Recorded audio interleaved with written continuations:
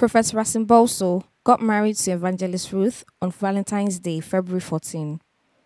The wedding blessing took place at Peckforton Castle in Tarporley, Cheshire, UK.